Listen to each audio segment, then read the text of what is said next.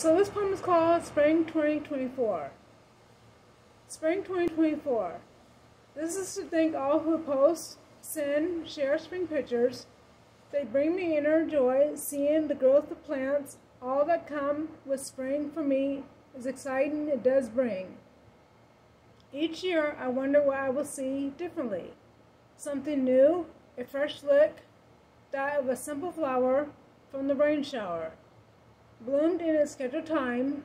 The season of spring much is around that during winter wasn't found. Colors, a variety so detailed a story could be told. Even books are sold to plant or seeds to produce to eat, raw or even cooked when it's the right look. I finally saw a ladybug all by itself. What got my attention at first was a butterfly enjoying whatever it saw, so I waited for it to land.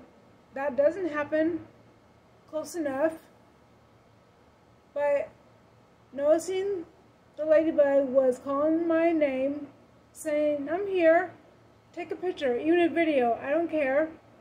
So I wrote that based on um, last week's activity, and um, I enjoy small things. How about you? Do you get a chance to enjoy the small things that are around?